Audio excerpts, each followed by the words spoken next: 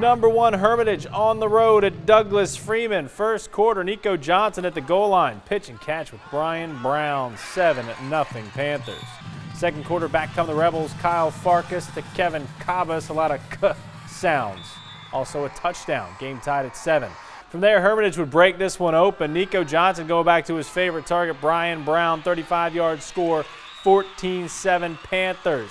Moments later, the give to top running back Derrick Green, five yard touchdown run. Hermitage remains undefeated 55 to 21.